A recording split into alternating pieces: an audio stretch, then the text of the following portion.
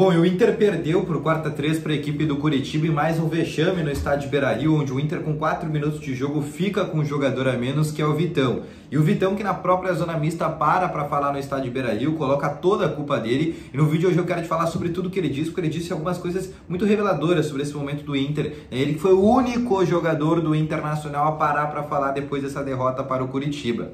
Além disso, o José Olavo Bisol, que faz parte da direção do Internacional, também parou para falar na zona mista após todos os jogadores passarem e a direção perceber que só um atleta do Inter tinha parado.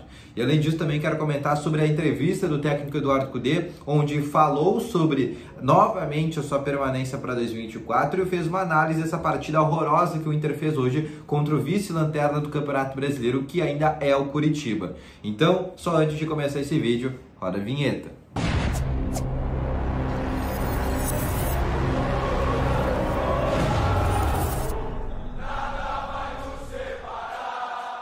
Boa noite, Colorados, ou só noite. Sejam muito bem-vindos aqui a mais informações sobre o Internacional após essa derrota vexatória que foi contra a equipe do Curitiba pelo placar de 4 a 3 num jogo muito estranho, diga-se de passagem, né? Aconteceu lances bizarros, dá para elencar aqui diversas coisas que aconteceram, mas só antes de começar esse vídeo, dá aquele teu gostei, dá uma força aqui pro canal, te inscreve se tu ainda não é inscrito e ativa também o sininho de notificações que é muito importante, tá bom?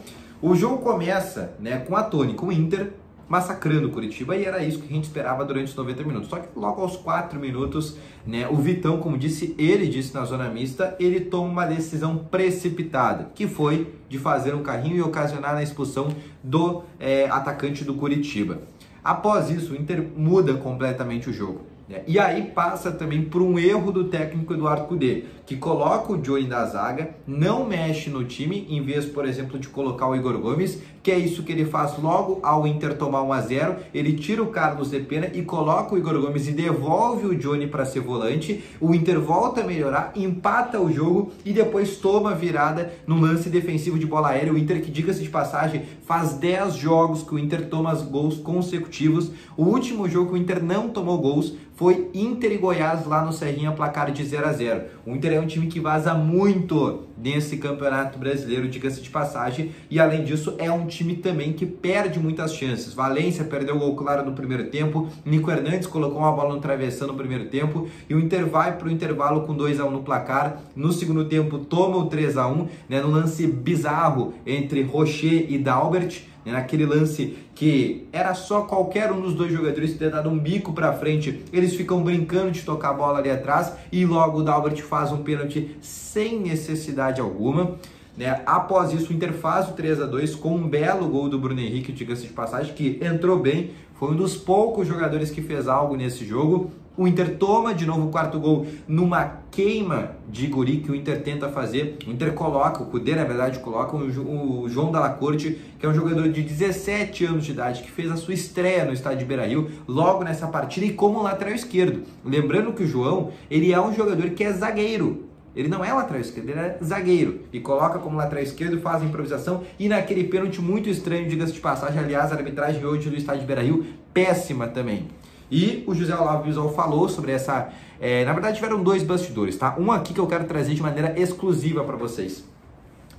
É, após a partida, tem um aqui na zona mista tem um elevador para tu sair aqui da cabine para a zona mista tu tem que passar por um elevador. Quem fica nas cabines também é a direção do Internacional.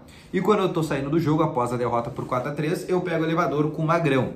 E o Magrão ele confidencia um bastidor muito interessante, que é, olha, é, a gente não atuou bem, isso não dá para tirar é, o que aconteceu, mas não pode a arbitragem, por exemplo, permitiu o lance do que foi no primeiro tempo do Matheus Bianchi. Para quem não sabe, antes do Inter tomar o segundo gol, o Matheus Bianchi, que faz o segundo gol do Curitiba, tem um lance no Charles Arangues que vocês forem lembrar, o Matheus Bianchi faz um carrinho no Arangues, onde é um carrinho acima da canela. Acima da canela, segundo a regra, tu pode lembrar daquele lance do Rodinei, é lance para cartão vermelho. Assim como foi, por exemplo, para o Vitão. E o José Olavo Bisoba, aí eu trago o segundo bastidor, na zona mista, após é, essa derrota, falou sobre essa falta de critério que teve a arbitragem. E aí eu posso elencar diversas coisas que aconteceram. A não expulsão do Matheus Bianchi, o pênalti bizarro que aconteceu do João Dalla Corte, né, onde é, o jogador do Curitiba dá uma pirueta para conseguir. No pênalti do Dalbert, apesar daquele lance ter sido uma completa bizarrice, o juiz, e aqui eu tô no estádio, tá? Eu vi, o juiz apita o lance antes do Dalbert cometer o pênalti. Se o bandeirinha levanta a, a bandeira, o juiz apitou, o VAR não podia interferir naquele lance. O VAR interfere, chama o árbitro e o árbitro esquece que ele tinha apitado, que tinha dado impedimento no lance. Um lance muito parecido a Inter e Luverdense em 2017, aquele gol do João Anderson. Para quem acompanhou o Inter naquela época, tu vai lembrar desse gol e foi um lance muito parecido porque novamente o juiz apita o lance. Só que naquela época não tinha VAR, agora tinha e o VAR atrapalhou. Então só eu já elenquei três coisas que foram estranhas. O próprio pênalti do Internacional, tá? Só para dizer que eu só tô falando de coisa contra o Inter, o último pênalti do Inter, no qual o Ender Valência erra o pênalti depois das gol, o gol dado para o Inter também foi completamente bizarro, diga-se de passagem. Na verdade, a arbitragem que ao longo desse jogo teve 13 cartões amarelos. É a média do Campeonato Brasileiro de cartão amarelo? Não passa normalmente de 6. Ela teve 13 cartões amarelos e um cartão vermelho.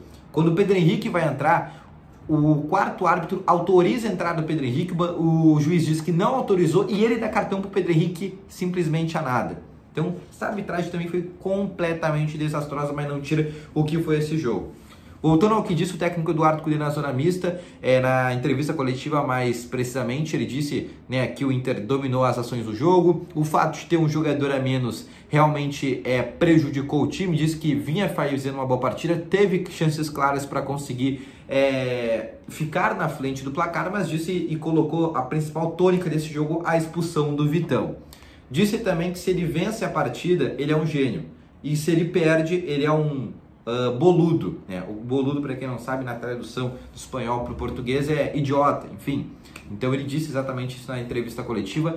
Também falou que esse vai ser treinador do Inter até o final desse ano e posteriormente a isso vai depender das eleições é, que vão acontecer no fim da temporada, tá bom?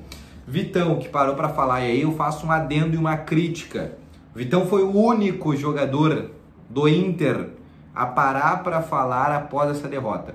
Pegar o exemplo Santos 7 a 1 Cinco jogadores do Inter pararam para falar. Por que, que hoje no Vexame só para o Vitão para falar?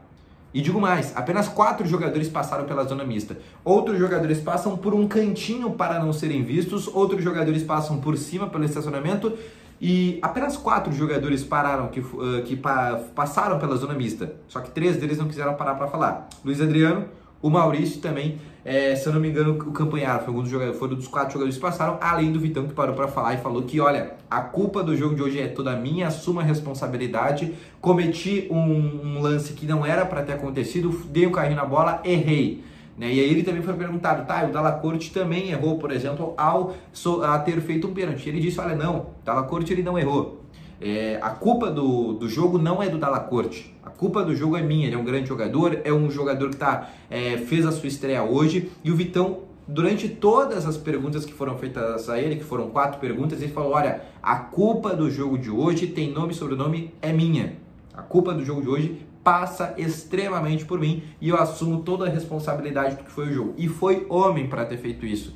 Foi o único cara que teve essa coragem, além de ter errado, parado para falar na zona mista. E isso foi muito importante, tá bom? Mas de resto, né, uma atuação ruim do Internacional dentro e fora de campo, apesar dessa arbitragem desastrosa que aconteceu hoje no Beira-Rio e esse jogo bizonho que também foi esse jogo no Beira-Rio, tá bom? O Inter se reapresenta amanhã no CT Parque Gigante, 4 horas da tarde. O Inter que joga na próxima quarta-feira contra o América Mineiro no estádio Beira-Rio. Lembrando que não terá Johnny, que tomou terceiro cartão amarelo, Maurício tomou o terceiro cartão amarelo e René, que continua com uma lesão muscular.